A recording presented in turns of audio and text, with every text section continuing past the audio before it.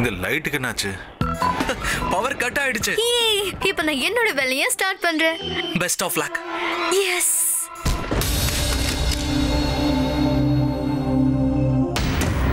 ஐயோ என்னங்க? ஆ. போன்ல டார்ச் ஆன் பண்ணுங்க. சரி நீ கீழே பாரு. கீழே என்ன பார்க்கணும்? என் ஃபோன் விழுந்துருச்சு. அது எப்படி விழுந்துச்சு? கையில இருந்து வழுக்கு எப்படி விழுந்துருச்சு. வழுக்கி விழுந்துச்சு? நீ வழுக்கு விழுந்த மாதிரி தான் மனுஷனுக்கும் போனுக்கும் நிறைய வித்தியாசம் இருக்குல்ல? எனக்கு இப்போ அட்வைஸ் எல்லாம் தேவையில்ல. போன் எங்க இருக்குன்னு தெரிஞ்சா அதை எடுத்து டார்ச் ஆன் பண்ணலாம். கொஞ்சம் தேடி தரியா சரி தேடுங்க. நானும் தேடி பார்க்கறேன்.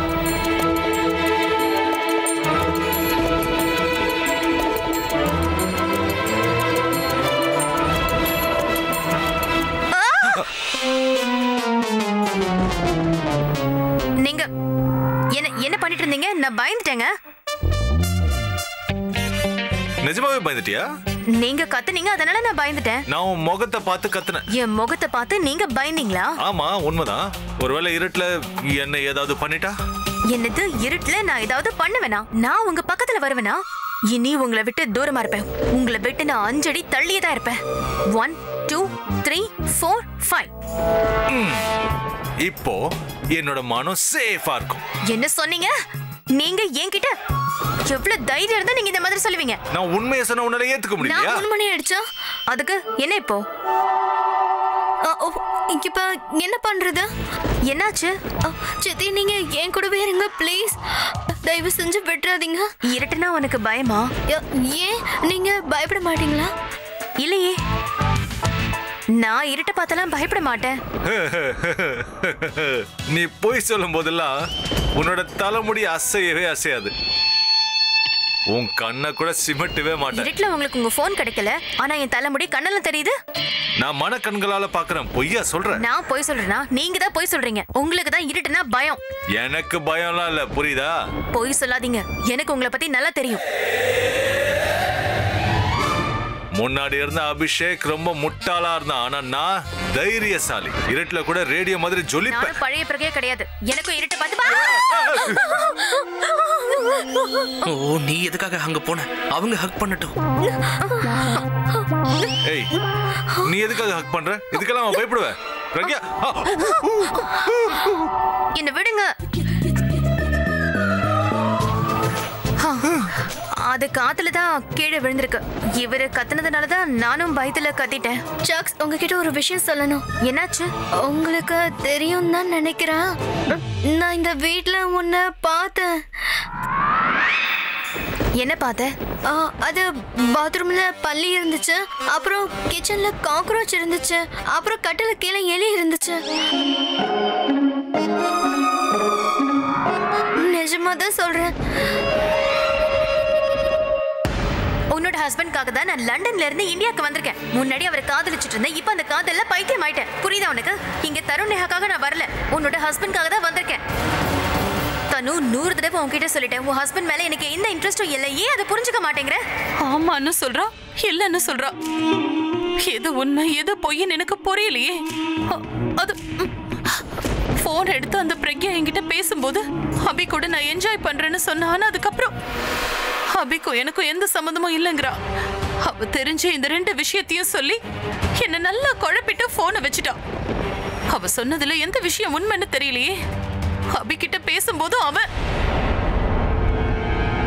ஆமா அவனும் இதே விஷயத்த தானே சொன்னான் அபியோட ஃபோன் கூட பிரக்யா கிட்ட தான் இருந்துச்சு. அப்படின்னா அவன் சொன்ன முதல் விஷயம் தான் உண்மை. ரெண்டாவது விஷயமும் உண்மையா இருந்தா? என்ன இதெல்லாம்?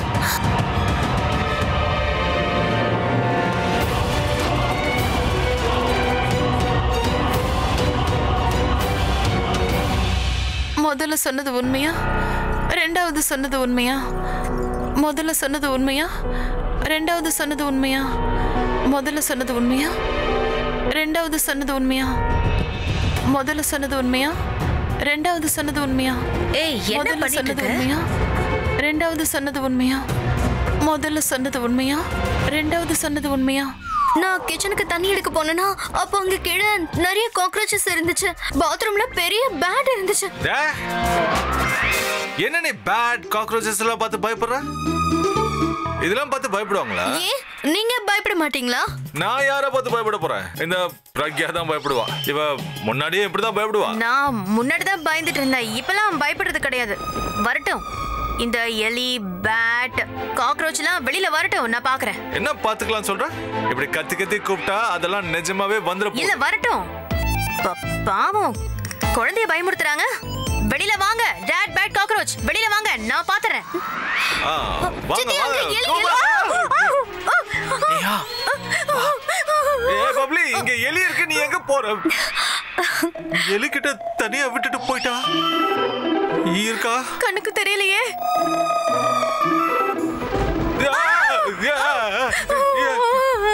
நான் பயப்பட மாட்டேன்னு சொன்னேன் அப்புறம் ஏன் கத்துற? அப்போ உங்களுக்கும் தான் பயம் இல்லைன்னு சொன்னீங்க. அப்புறம் ஏன் இந்த மாதிரி உட்கார்ந்துருக்கீங்க? கொஞ்சம் செட்டில் ஆகிறதுக்காக தான். ஆக்சுவலி நான் எதையும் பார்த்து பயப்பட மாட்டேன். ஆனா நான் நேஹா கத்துனாங்கிறதுக்காக தான் நானும் கத்திட்டேன். சேம் ஹியர் சேம் ஹியர் சரி உனக்கு பயமே இல்லைன்னா உன்னோட காலை கீழே வச்சு காட்டு. நான் எதுக்காக காலை கீழே வைக்கணும்? ஒருவேளை எலி வந்து கடிச்சிருச்சுன்னா? ஆனா நீ தான் பயப்பட மாட்டிய. என்ன என்ன என்ன பார்த்து பேசிட்டு இருக்கீங்க? உங்களுக்கு தான் பயம் இல்லைல்ல? காலை கீழே வச்சு காமிங்க. நான் ஏன் காலை கீழே வைக்கணும்? உனக்கு தானே பயம் இல்லைன்னு சொன்ன காலை கீழே வைய. சரி நாம ஒண்ணு பண்ணலாமா? ப்ளீஸ் ஹக் பண்ணுங்க. ஹக் பண்ணுங்க ப்ளீஸ் அவங்க சோஃபா விட்டு கீழே இறங்குனதும் நான் கரெக்டா பால் அவங்க கால் கிட்ட போட்டுறேன். அவங்க பயந்து போய் ரெண்டு பேரும் ஒட்டிப்பாங்க. சரி நாம ஒண்ணு பண்ணலாம். நம்ம ரெண்டு பேரும் ஒன்னா காலை கீழே வைக்கலாம். ஏன்னா எலி நம்ம ரெண்டு பேரையும் பார்த்தா கிடைக்காதுல்ல? இந்த காலை கிடைக்கிறதா அந்த காலை கிடைக்கிறதான்னு கன்ஃபியூஸ் ஆயிடும்ல? சரி வாங்க. ஓகே வைக்கலாமா. இங்க ஒரு எலி இருக்குன்னா அதோட பார்ட்னரும் இங்க தான் இருக்கும்ல? இ- என்ன பண்றது? இன்னொரு ஜோடியா? எலியும் ஜோடியா இருட்டுல தனியா இருக்கு. ஒண்ணு மாதிரி அதுவும் பயந்தாங்கோலியா இருந்தா? நாம ரெண்டு பேர் இருக்கோம். அவங்களும் ரெண்டு பேர் இருக்காங்க. பவர் கட்னா அவங்களும் பயந்து போய் உட்காந்துருப்பாங்க நீ டென்ஷன் ஆகாத? அப்புறம் நாம கீழே இறங்குனதுக்கு அப்புறம் லைட்டை செக் பண்ணலாம். லைட் ஆன் ஆனா அதுங்கெல்லாம் ஓடி போயிடும். Super idea. வா போலாம். இருங்க இருங்க. ஒன்னாவே காலை வைக்கலாம். எலி எலி எலி வந்துருச்சுங்க. நம்ம நினைச்ச மாதிரியே அவங்க ஹக் பண்ணிட்டாங்க. மறுபடியும் அவங்க அவங்க காதல புரிஞ்சுப்பாங்க. இங்கே எனக்கு ரொம்ப சந்தோஷமா இருக்கு.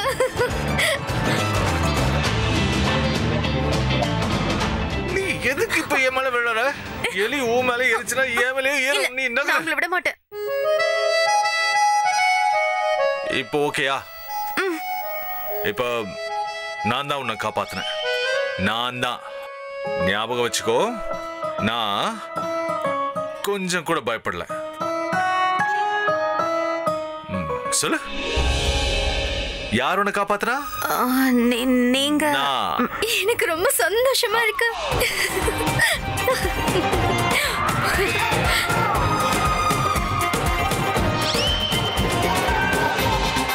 வா. நீ முதல்ல எலி.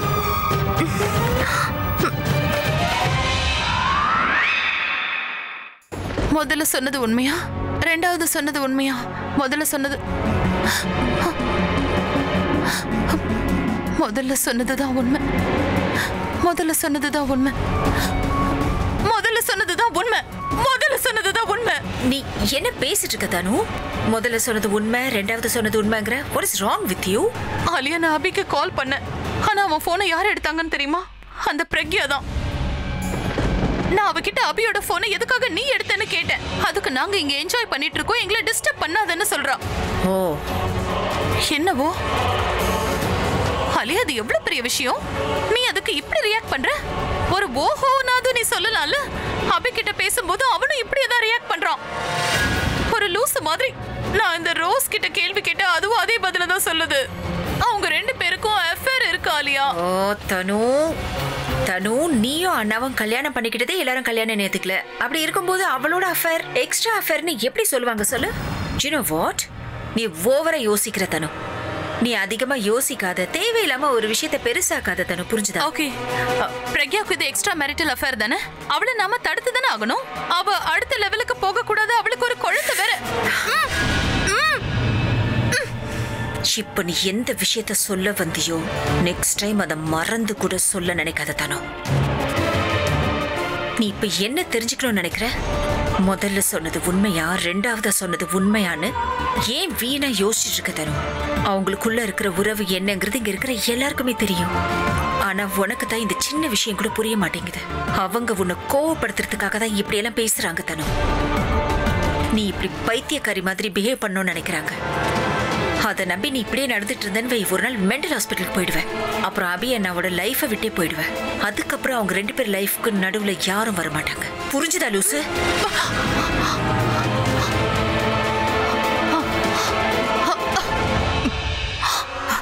இன்ஸ்பெக்டர் சார் என் மகளை பத்தி உங்களுக்கு ஏதாவது தெரிஞ்சுதா?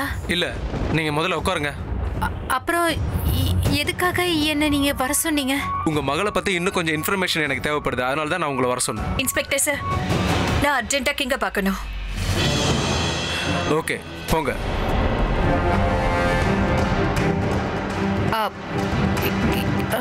கிங் கிங் கிங்க பார்க்கணும்னு சொன்னாங்களே இவங்க யாரு? உங்க மகளை கிட்னாப் பண்ண அந்த பையனோட அம்மா தான் இவங்க.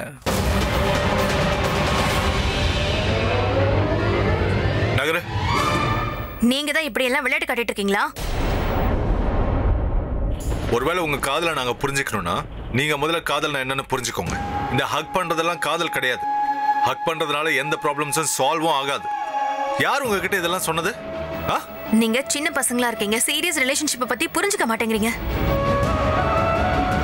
நீங்க இப்படியே யோசிச்சுட்டு இருந்தீங்கன்னா வாழ்க்கையில முன்னேறவே முடியாது. ஜஸ்ட் ஹக் பண்றதுனால காதலும் உருவாகாது உறவும் ஒண்ணு சேராது. ஆனா ஆல்ரெடி காதலும் இருக்கு உறவும் இருக்கு. இருந்தும் நீங்க இந்த விஷயத்தை ஏத்துக்க மாட்டீங்க. அப்புறம் சக்ஸ் நீங்க இன்னும் இவங்களை காதலிக்கிறீங்கன்னு எனக்கு தெரியும். ஏய் என்ன நான் லவ் பண்ற என்ன லவ் ஆ?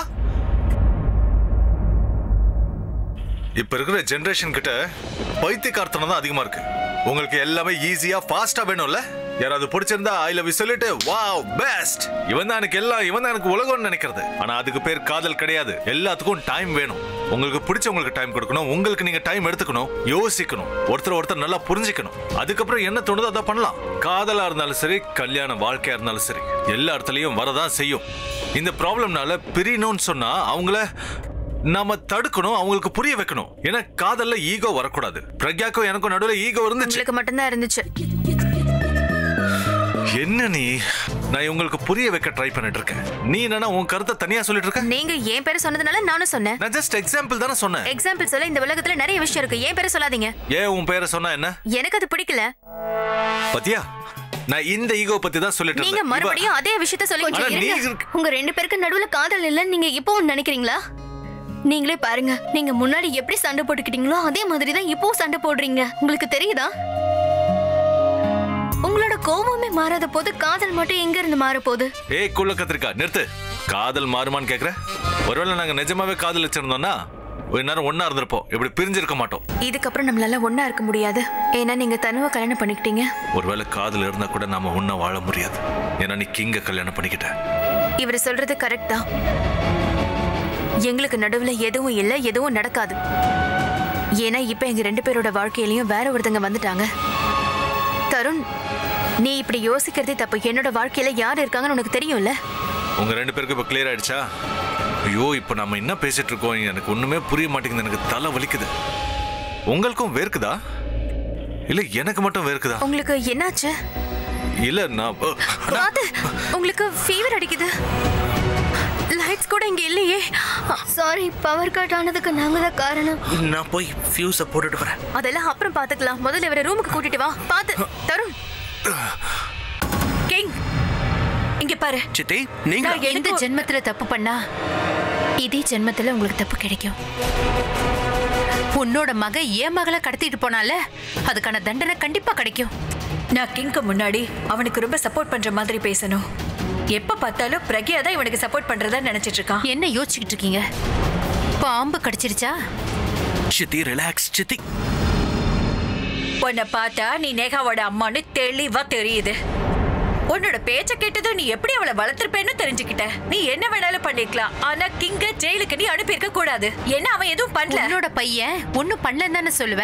ஆனா உன்னோட பையன் என் மகளை கிட்னாப் பண்ணிருக்கான் இந்த கிங் அவனுக்கு ஹெல்ப் பண்ணிருக்கான் ஹலோ கொஞ்சம் பொறுமையா பேசுங்க இது போலீஸ் ஸ்டேஷன். முதல்ல அந்த கிங் அந்த தருணுக்கு ஹெல்ப் பண்ணா இப்ப நீங்க கிங்குக்கு ஹெல்ப் பண்றீங்களா? கிங் உன்னோட கேங் சூப்பரா இருக்கே. நீ பேசணும்னு நினைச்சா தருணை பத்தி மட்டும் பேசு. கிங்க பத்தி நீ எதுவும் பேசக்கூடாது புரியுதா? ஓ மகமேல உனக்கு இவ்வளவு அக்கறை இருக்குல்ல? அவளை வீட்டுல வச்சு பார்க்க வேண்டியதுதானே நல்ல கலாச்சாரத்தை கொடுத்துருக்கலாம்ல? இன்னைக்கு என் பையன் என் வீட்ல இல்லைன்னா அதுக்கு காரணம் உன்னோட மகதான் கிங் இன்னைக்கு ஜெயில இருக்கானா அதுக்கு உன்னோட மகதான் காரணம். நான் தான் உன் வீட்டுக்கு வந்து கத்தி இருக்கணும். ஆனா நீ என்கிட்ட கத்தி பேசிட்டு நீ. என்ன நினைச்ச? நீ என் வீட்டுக்கு வந்திருந்தா நான் உன்னை உள்ள விட்டுருப்பேனா? உங்கள மாதிரி ஆளுங்களை நாங்க வீட்டுக்குள்ளேயே விட மாட்டோம். வாசல்லயே நிக்க வச்சு அனுப்பிடுவோம். தப்பு உங்க ஃபேமிலி மேல இருக்கு. நாங்க எந்த தப்பும் பண்ணவே இல்ல. கிங்கோட ஃபேமிலியை பத்தி பேச உனக்கு என்ன தகுதி இருக்கு? தருணை பத்தி பேசினா அதை கிங்க அவமானப்படுத்துற மாதிரி. கிங்கு என்னோட பையன் மாதிரி தான் உனக்கு புரிஞ்சதா? அவனை பத்தி இன்னும் ஒரு வார்த்தை பேசினா அவ்வளவுதான். மேல நான் பேச மாட்டேன். என்ன பண்ணணுமோ பண்ணுவேன். என் மகளை எப்படி காப்பாத்தணும்னு எனக்கு தெரியும். உன் மகனோட வலையில இருந்து என் பொண்ணை எப்படி மீட்டுட்டு வரணும்னு எனக்கு நல்லா தெரியும். ஆனா உன்னால முடிஞ்சா உன் மகனை காப்பாத்திக்கோ.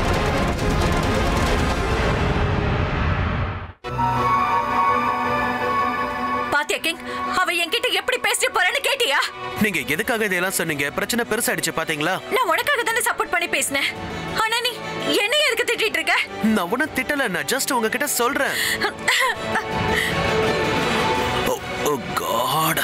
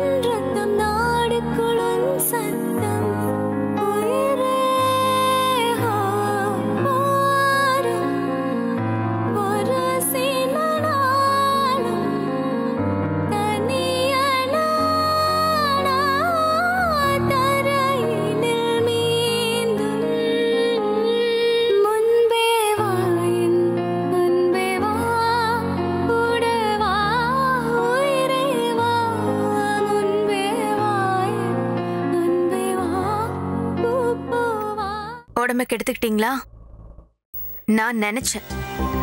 தும்மல் வரும்போதே ஃபீவரும் கூட வந்துரும்னு நினைச்சேன். அதனால தான் கஷாயத்தை கொடுத்தேன். ஆனா நீங்க உங்களை பாத்துக்கவே மாட்டீங்கல்ல? நான் சொல்றது எதையுமே கேக்குறது இல்ல ப்ளீஸ் எந்திரிங்க. என்கிட்ட சண்டை போடுங்க ஆனா ப்ளீஸ் இப்படி அமைதியா இருக்காதீங்க. விடிய போகுதானா நீங்க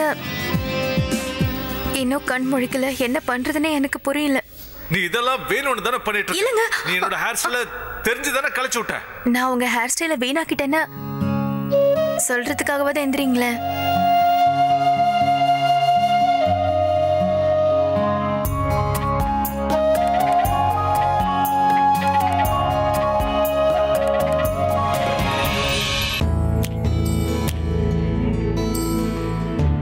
எல்லா இடத்துலயும் வரதான் செய்யும். இந்த ப்ராப்ளம்னால பிரியணும்னு சொன்னா அவங்கள நாம தடுக்கணும் அவங்களுக்கு புரிய வைக்கணும். ஏன்னா காதல்ல ஈகோ வரக்கூடாது. பிரக்யாக்கும் எனக்கும் நடுவில் ஈகோ இருந்துச்சு. எனக்கு அப்படிலாம் ஒன்றும் இல்லை.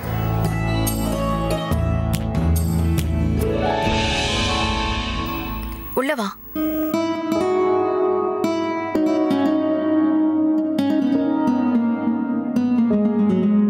நான் நைட்ல ரெண்டு தடவை எழுந்து பார்த்தேன். நைட் முழுக்க நீங்க கொஞ்சம் கூட தூங்காம சக்ஸ பாத்துக்கிட்டீங்கல்ல உண்மையா நேசிக்கிறவங்கள தானே இந்த மாதிரிலாம் பார்த்துப்பாங்க? அப்படியெல்லாம் எதுவும் இல்லை. இவருக்கு ஃபீவர் வந்துருச்சு. இவரை பார்த்துக்க யாரும் இங்க இல்லை. டாக்டர் கூட இல்லைன்றதுனால தான் நான் இதையெல்லாம் பண்ணேன்.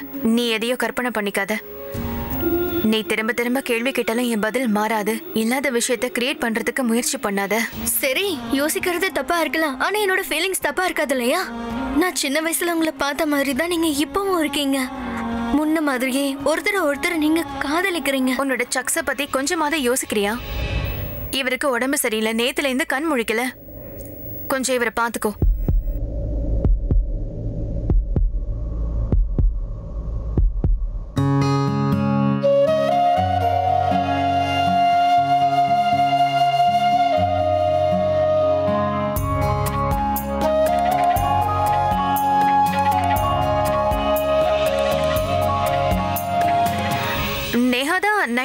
உங்களை பார்த்துக்கிட்டா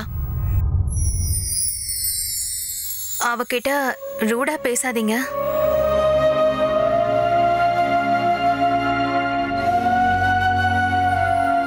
நம்ம கிளம்பலாமா? வேணாம் படுங்க. நீங்க ரெஸ்ட் எடுங்க. கொஞ்சம் நேரம் கழிச்சு போலாம். நான் எந்த அக்கறையிலையும் பேசல.